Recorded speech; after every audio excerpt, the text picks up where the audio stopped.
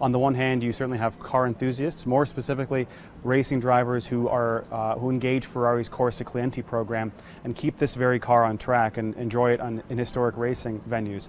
On the other hand, of course, we have a great deal of interest from fine art uh, collectors and enthusiasts for whom this is something entirely different. So, from the artistic side, certainly the celebrity component with Michael Schumacher, the most winning driver in history, owning it, but also uh, the the tried and true car collectors with whom we have relationships.